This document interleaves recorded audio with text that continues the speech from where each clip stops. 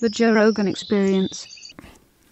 What when when your first actual film film was what like 2004 2000. 2000 Yeah, because the way it went down was this is a funny story too. I made my first movie, House of a Thousand Corpses, at Universal Studios, and it was 2000. It could have been even the tail end of 1999. I'm not sure. The only reason I know it's 2000, I just had a wrap gift somebody gave me, and they put a date in. I was like, oh shit, it was 2000.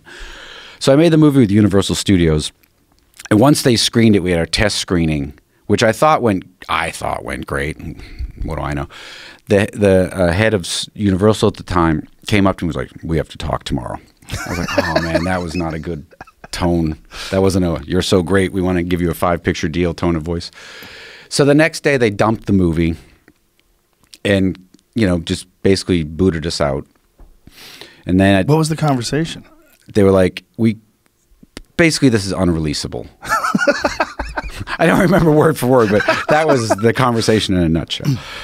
But at the time, too, you figure there was no horror coming out of Universal. They were making like the Flintstones movie, and that was not the image they wanted. This really vile, sort of backwoods hillbilly murder fest where there's the bad people win, essentially. I mean, horror films were sort of like not even a th- commercial thing at that point, in a way. So then, um, which is funny now, if you go to Universal Studios Hollywood or Orlando, there's a huge House of a Thousand Corpses thing event going on in both theme parks. that's hilarious I was there for the grand opening. I'm like, that's funny.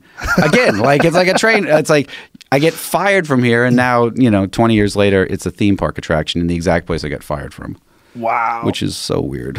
what was the conversation like before you decided to do that film i mean how did how did they let you do it I don't, it, you know, I, again, I think getting to make a movie for Universal Studios was such an amazing experience, but I think I was too naive to understand what was happening.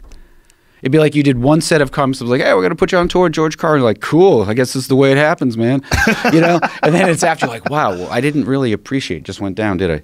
Not that I was took it for granted, but I, I had, I had met with someone at the theme park about doing a, a haunted maze during their horror Halloween horror nights based on my album.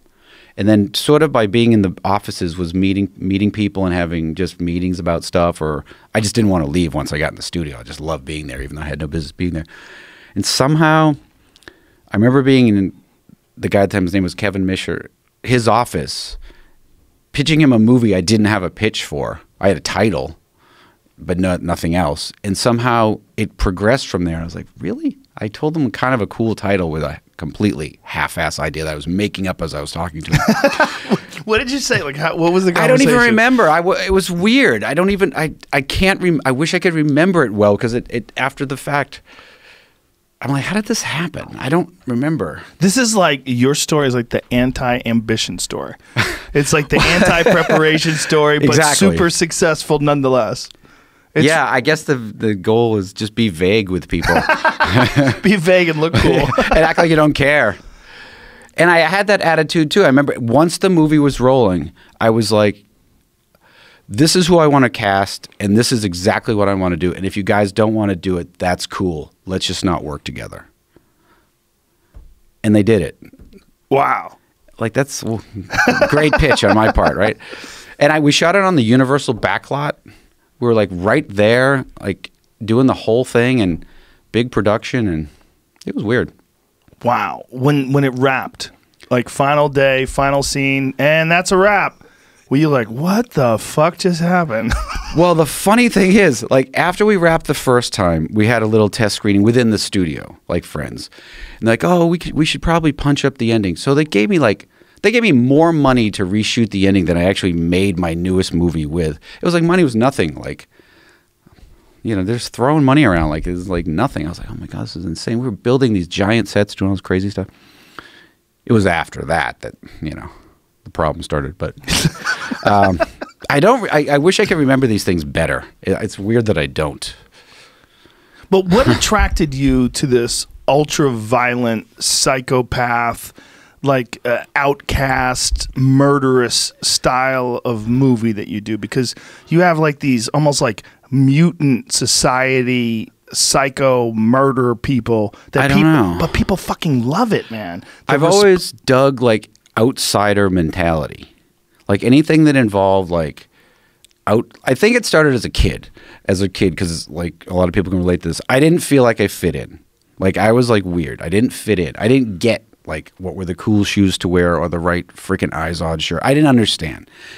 I wasn't trying to be, you know, no one's trying to be weird and like, oh yeah, I want to be weird and hide away because I'm weird. No, it's like I don't understand.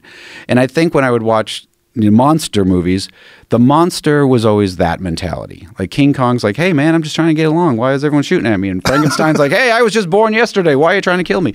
Like, and I think as a weird kid, you relate to the monster. So as life went on and you know the I would always relate to the outsider. Then I would always relate to movies like Taxi Driver, or Bonnie and Clyde, and be like, yeah, Travis Bickle, you know, he's he's the fucking man, you know. And I would always be like, anything anti-society, anti, eh, fuck you, fuck everything that's normal. Right, like revenge. Yeah, I was just into it, and I, you I felt real similar when I was a kid. I was always into monster movies. I was Yeah. always into something that just just tore all the normal people apart and just ripped apart all the Yeah. preconceived notions of what everybody thought was going to happen. And then around the and towards the end of high school, when I discovered punk rock, and you figure out there's an entire form of music where they're just like, "Go fuck yourself." Yeah. that's what we're here. I was like, I'm in.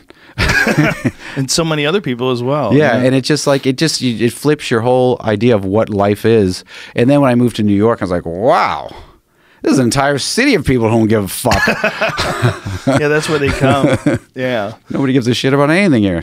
It's it's amazing how your movies resonate with people, like to um, like in a fanatical way. Like you read the comments on just the trailer for uh, Three from Hell. You know, just people are so fucking pumped.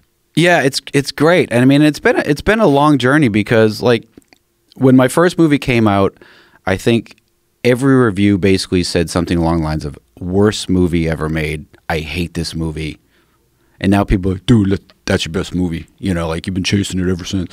So it's just weird how. Same with White Zombie. When our first Geffen, I still remember this. Our first Geffen record came out. I saw the first review. It was this magazine, Alternative Press who two years ago gave me this lifetime achievement award, and I had to read the review while I accepted the award. The review said, "This is the worst band ever." I was like, "Ever? Come on!" And it, it said, "This is the worst band ever. Ignore this band." So there was a something, uh, you know, there must have been something. Did you ever contact the person who wrote that? No, I don't. I back then I was just like, I mean, weird. like I felt like maybe a few years later, once you were really successful. I can't remember who it was. I I used to be upset by reviews until I saw who wrote them. Mm, yeah, You know, yeah. That's and a then problem. go, that guy. I don't like a lot of critics are critics because they really wanted to be writers. They just don't have a lot to contribute, and so they just shit on things. And it's just like you, as a when you're young and you're new and you're reading it, you think that the guy who's writing it, writing it all badass. You'll think, oh, this dude must look like Lemmy. He must be this hard ass guy. And oh, Yep. and then you see a guy like that guy wrote it. Oh, fuck him. and fuck everyone else who ever writes anything again. I don't give a shit.